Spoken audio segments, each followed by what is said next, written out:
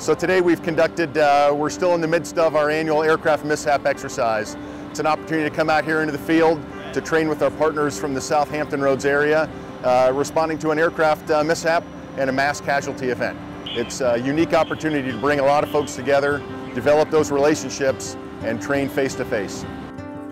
This was a really complex drill. It was well, well thought out. Um, we spent a lot of time planning this. So we had two structural fires and a structural collapse situation, um, an aircraft crash with a mass casualty incident. So therefore it really tasked every single one of these units to, uh, to stretch their resources as thin as possible.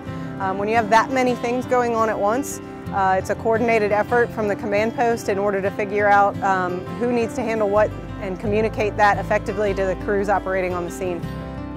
Training is why we come together. This is one big training evolution that's good for all of us. It brings communications hand to hand, one on one with us, so we all become one unit. When something does like this does happen, it's not foreign. We work with the Navy on a regular basis. All of the, uh, the Navy firefighters, they come off base and assist us um, in automatic aid and, and the same with uh, the beach. We, we respond on base whenever they need assistance. So we work together a lot. However, um, even though we, we do things similarly, you know, it's still a different organization, so it's always beneficial when we can train.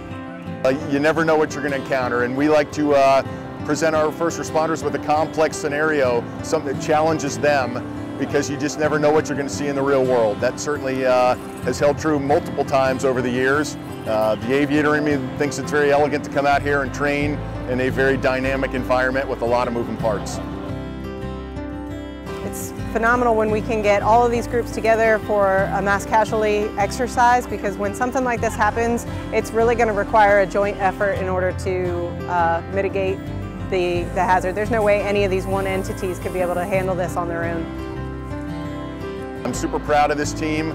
I'm very proud of our relationships with the City of Virginia Beach and with all of South Hampton Roads. And we look forward to continuing this kind of uh, operations, these kind of exercises, to hone our capabilities out there in the field when the uh, rubber needs to meet the road.